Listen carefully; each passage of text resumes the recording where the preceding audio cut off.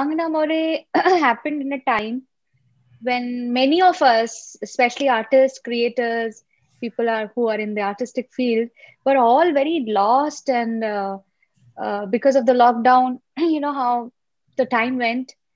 I was also stuck at home, not uh, doing exactly the same amount of work that I am used to doing.